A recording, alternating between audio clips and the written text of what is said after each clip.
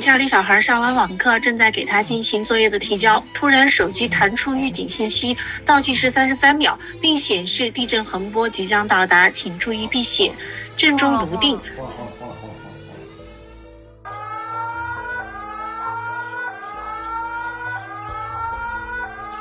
我在重庆渝北区地震的时候，我正趴在桌上睡午觉，然后突然感觉脑子有点晕，然后醒了之后发现腿也在晃，抬头看见灯啊，还有指示牌啊都在摇晃，然后这时候我就意识到在已经地震了。